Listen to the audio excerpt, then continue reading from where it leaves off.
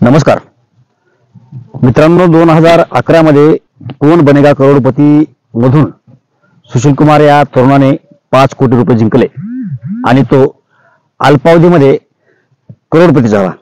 एक सर्वसामान्य कुटुंबातील गरीब कुटुंबातील मुलगा आणि पाच कोटी रुपये आल्याच्यानंतर त्याला त्याच्या कुटुंबाला स्वाभाविकपणे आनंद होणं स्वाभाविक होता तसा आनंद पण झाला. आता दोन हजार तेवीसमध्ये आसपास बारा वर्ष लोटून गेले ते एक तप ज्याला म्हणतो आपण ते. आणि आपण असा अंदाज बांधू शकतो की त्या पाच कोटी रुपून ते त्याचे दहा कोटी वीस कोटी पन्नास कोटी त्यांनी काहीतरी व्यवसाय वगैरे कोणते वाढवले असतील असा आपण अंदाज बांधू शकतो. एका सर्वसामान्य कुटुंबातील व्यक्तीला जर पाच कोटी भेटले तर तो व्यवस्थितपणे त्याचे नियोजन लावून ती रक्कम वाढेल असं गणित आपण तुम्ही आम्ही कोणी जाईल परंतु वास्तवामध्ये असं झालेलं नाही. आज त्याचं पूर्णपणे दिवाळा निघालेलं आहे. तो खायला महाग आहे. असं म्हटलं तर वावगं ठरणार नाही आपल्या महाराष्ट्राच्या भाषेमध्ये. म्हणजे कोण बनेगा करोडपतीमध्ये सामील होण्याच्या पूर्वी सुशील कुमार जो होता त्यापेक्षाही बत्तर आज त्यांचं जीवन आहे.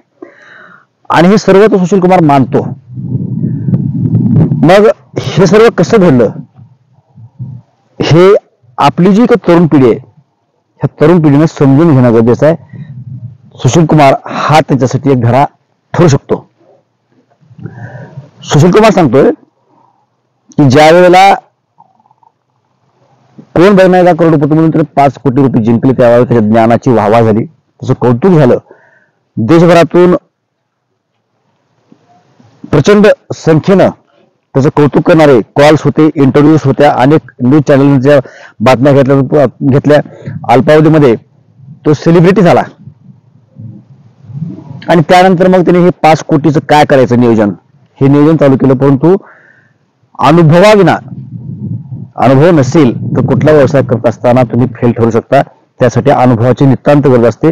कुठलंही क्षेत्र असू द्या कुठलंही काम असू द्या त्या कामामध्ये अनुभवाची आवश्यकता आणि आपल्याकडे अनुभव नसेल तर आपल्याकडे जे वरिष्ठ आहेत ज्यांच्याकडे अनुभव आहे त्यांच्या मार्गदर्शनाखाली आपण तो व्यवसाय चालू केला तो धंदा चालू केला ते काम चालू केलं तर त्यामध्ये यश मिळू शकतं.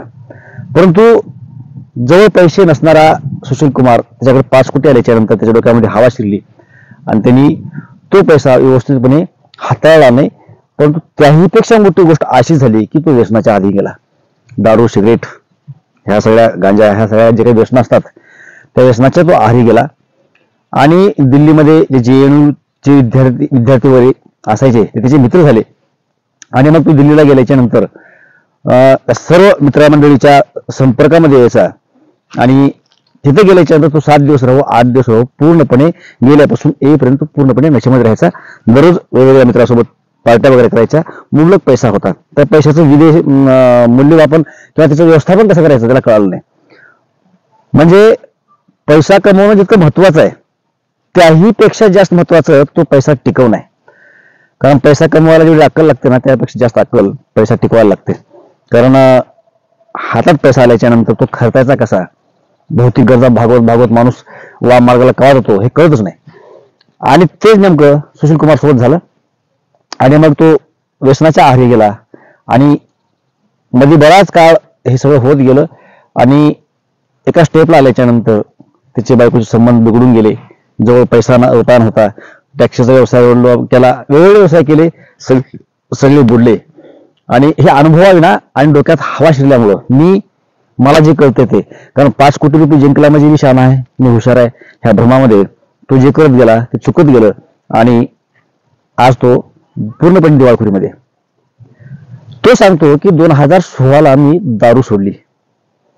आणि दोन हजार वीस एकवीसमध्ये त्यांनी सिगरेट गांजा वगैरे ह्या सगळ्या गोष्टी सोडून दिल्या. तर पूर्णपणे आता निर्व्यसनी आहे आणि त्याचं असं मत आहे. की तो मान्यही करतो की मी ह्या सगळ्या गोष्टी चुकलोय. आणि त्याचं असं म्हणणं आहे की कमाई ही आपल्याला जितकी गरज आहे तितकीच असावी. आडवास कमाई झाली आणि ती टिकवण्याची अक्कल नसेल तर माणूस वामार्गाला निश्चितपणे जातो. मग आपल्या तरुण मंडळींनी यातून काय घ्यायचंय? आज देशभराचा विचार केला. तर देशामध्ये काय चाललंय त्यापेक्षा आपण मराठी आहोत महाराष्ट्रीयन आहोत. महाराष्ट्रामधला जो काय मराठी तरुण आहे ह्या तरुणांनी यातून बोध घ्यायचा आहे. भले ते पैसे त्याला कोण बनेगा करोडपतीच्या अं, त्या जी काही विनिंग असते त्याच्यामध्ये विनर झाला आणि त्यातून ते भेटले. पैसा कोणाच्या माध्यमात येत नाही. काही लोकांचे आई वडील श्रीमंत असतात त्यांचे पैसे लाखो रुपये कोटी रुपये कमवून ठेवलेले असतात. तो त्यांच्यासाठी आयताचा पैसा आहे ह्या मुलांसाठी. जसं ह्याला आयता पैसा भेटला पाच कोटी रुपये. तसं आयती रक्कम कुटुंबाकडे असते त्या पैशाच्या जोरावरती जे मुलं काहीतरी वेगवेगळी पावलं टाकतात त्या मुलांनी ह्या गोष्टीचं भान ठेवायचंय की स्वकर्तृत्व फार महत्वाचं आहे. हे काही दिवशी कुटुंब जाणार आहे. ही जगपरंपरा आहे रूढी आहे. आणि जगराटीचा भाग आहे हा की माणसं म्हातारी झाली की माणसं ह्या जगातून निरोप घेतात आणि ते आपल्या आयुष्यातून कमी होतात. तसं प्रत्येकाच्या आयुष्यामध्ये घडणाऱ्या आपल्याही कुटुंबातील जे वरिष्ठ आहेत ते काही दिवशी जाणार आहेत पण ते आहेत तोपर्यंत आपण स्टँड कसं होऊ? हे लक्षामध्ये घेऊन जर तरुणांनी काम केलं तर तुम्ही लवकर स्टँड होऊ शकता.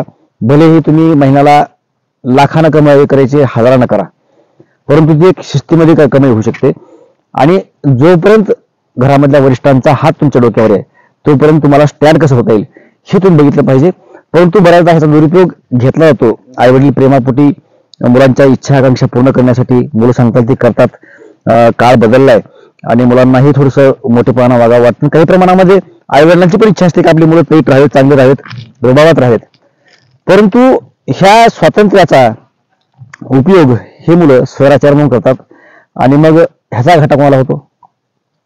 ह्या मुलांनाच होतो म्हणजे आपण तरुण आहोत तर आपणालाच होतो शेवटी मी आता सांगितल्याप्रमाणे एके दिवशी हे तुमचे वडील असतील तुमचे आजोबा असतील तुमचे चुलते असतील तुमचे वरिष्ठ कोणी जे कोणी असतील ते जाणार आहेत.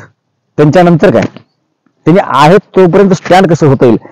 तेही सुखानं समाधानानं ह्या जगाचा मिळवून घेतली की आता माझी पुढली पिढी सुखात खाणार आहे.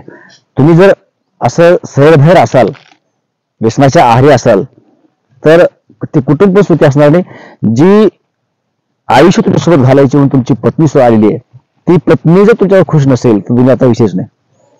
मग घर संसार ही लेकरं बाळ पुढची येणारी पिढी आहे. जसं तुमच्यासाठी तुमच्या आईवडिलांनी तुमच्या वरिष्ठांनी जे काही करून ठेवलं असेल तुम्ही पण तुमच्या मुलांसाठी वरिष्ठच आहेत. एके दिवशी ते पण मोठे होणार आहेत. त्यांना पण गरजा भागणार आहेत. त्यांच्या गरजा कसा भागायच्या? त्यामुळे ह्या सुशील कुमारच्या प्रकरणामधून तरुणांनी एक गोष्ट लक्षात घ्यायची आहे. की पैसा कमवणं मस्त आहे. आयुष्यामधल्या भौतिक गरजा भागवण्यासाठी पैसा आवश्यक आहे. परंतु पैसा कमवणं जितकं गरजेचं आहे त्याही पेक्षा जास्त तो टिकवणं गरजेचं आहे. तुमच्याकडे एक हजार रुपये आले तर ते हजार रुपये तुमच्या खिशामध्येच महिन्याच्या महिने राहतील. अशी तुमची जर मानसिकता तुमची वृत्ती असेल तर तुम्ही काहीतरी आयुष्यामध्ये स्टॉक टाकू शकता ज्या कुटुंबाच्या इतर गरजा त्या भागवण्यासाठी. अन्यथा तुम्ही कमवाल तुम्हीच खर्चून टाकाल आणि तुम्ही सोडून जे बाकी इतर तुमच्या कुटुंबातील लोक आहेत त्या लोकांच्या गरजा कोण भागवायच्या त्यामुळे याचा सहानुभूतीपूर्वक विचार करा. महाराष्ट्रामधल्या तरुण जी काही मराठी मुलं आहेत खास करून शेतकऱ्यांची मुलं आहेत सर्वसामान्यांची मुलं आहेत ह्या लोकांनी लक्षात घ्यायचंय. एखादे आंबाडीसारखे आहेत त्या लोकांनी कोट्यावधी रुपये नुकसान केलं तर ते नुकसान परवडतं. कारण त्यांची अब्जोमध्ये कमाई आहे. त्यांच्या मुलांनी थोडं उलट सुलट केलं तर भागतं. परंतु आपण जे मिडल क्लासचे लोक आहोत मध्यमवर्गीय आणि गरीब कुटुंबातले आहोत ते थोडीशी चूक झाली. थोडंही नुकसान झालं.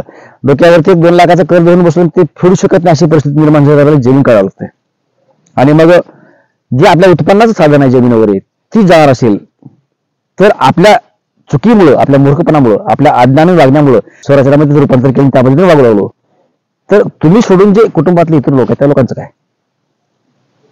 त्यांचा सोडा विचार तुम्हाला करायचे ना आणि तुम्ही ते करणार नसाल तर हा देह फक्त माणसाचा आहे तुम्ही माणसं नाहीत. कारण माणूस असेल तर माणसाला माणसाची भावना कळते माणसाच्या अडचणी कळतात नाते संबंध कळतात. आणि हे ज्यांना कळत नाही तेच लोक व्यसनाच्या आधी जाऊन वाम मार्गाला पोहोचतात. म्हणजे आधी तरुण आहेत तुम्ही सतरा अठरा वर्षाचे वीस पंचवीस वर्षाचे एक बावीस वर्षाचे आहेत. आणि कुठल्या व्यसनाच्या आहारी गेला असाल? चूक होते माणसाकडून. परंतु त्यातून सुधारणा करून तुम्ही वेळेत मार्गाला आलात तर तुम्ही माणूस आहेत. पण तुम्ही रिपीट रिपीट रिपीट रिपीट तेच करणार असाल. त्यातून बाहेर निघणार नसाल. तर तुमच्या जन्माला काहीच व्हॅल्यू नाही. मी आता सांगितल्याप्रमाणे फक्त देह तुमचा माणसाचा आहे. तुम्ही माणूस नाहीत. तुमची गणना माणसामध्ये होणार नाही. तुमच्या महागारी पण होणार नाही. त्यामुळं यातून बोध घ्या. पाच कोटी म्हणजे कमी नसतात. आणि पाच कोटी ह्या वाघानं पाच वर्षामध्ये गायब केले. पाच वर्ष सुद्धा नाही. विवाह दारूबंदी केली. म्हणजे दोन तीन वर्षामध्ये त्यांनी पाच कोटीचा बोकना करून टाकला. हे निव्वळ मी माझ्याकडे पाच कोटी रुपये कमवायची अक्कल असेल तर मी काही करू शकतो. ह्या भ्रमामध्ये हे केलेला कार्यक्रम होता. असेच भ्रम तुम्हा आम्हा तरुण पिढीला झालेले असतात की मला जे कळत त्यांना कळत नाही. परंतु कुटुंबातल्या वरिष्ठापेक्षा तुम्ही शहाणे असत नाहीत. जो कुटुंबाचा पारंपरिक व्यवसाय आहे. मग तो कुठलाही असेल शेती असेल किंवा शेतीला संलग्न दुसरा कुठला व्यवसाय असेल त्यामध्ये त्या लोकांनी अलिखित अशी पीएचडी केलेली असते. आपण शिक्षणामधली पीएचडी होतो ह्याला कुठली डिग्री मिळत नसते. परंतु पीएचडी म्हणजे त्या व्यवसायामधलं संपूर्ण सखोल ज्ञान अगदी बारकायासह त्यांच्याकडे असतं. त्यांचं मार्गदर्शन घेऊन त्यांच्या सूचनेप्रमाणे काही वस्तू काम केला तर तुम्ही सुद्धा त्यामध्ये पारंगत होता. त्यानंतर तुम्हाला सांगण्याची गरज पडत नाही की आपण काय केलं पाहिजे. तुम्हाला कोण चुकतं की आपण हे हे केलं तर आपल्याला सुरळीत होणार आहे. पण सुरुवातीपासून निशहाणा या पद्धतीने तुम्ही वागत गेलात. तर निश्चितपणे तुम्ही तुमचं आणि तुमच्या कुटुंबाचं नुकसान करणार आहेत. या बाबतीमधली आपली मतं निश्चितपणे कमेंटला कळवा. ही माहिती आवडली असेल तर लाईक करा चॅनलला सुद्धा सबस्क्राईब करून घ्या. आणि तुम्हाला हे माहिती पूर्ण माहिती वाटली असेल तर इतरांपर्यंत ही माहिती पोहोचवा तरुणापर्यंत ही माहिती जाऊ द्या. जय महाराष्ट्र.